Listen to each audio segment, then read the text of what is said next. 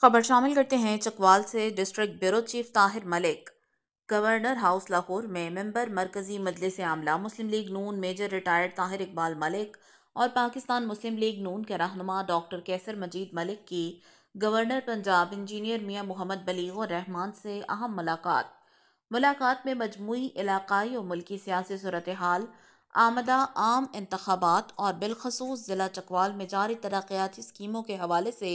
तफसीली तबादला ख्याल किया गया, जिस पर लोगों ने ये सुनते हुए कि दोनों भाइयों ने गवर्नर पंजाब से मुलाकात की है तो लोगों ने खुशी का इजहार किया और ज़िला चकवाल में आवाम अब इस उम्मीद पर बैठी हुई है कि अगर ये दोनों भाइयों ने इसी तरह आपस में मोहब्बत कायम रखी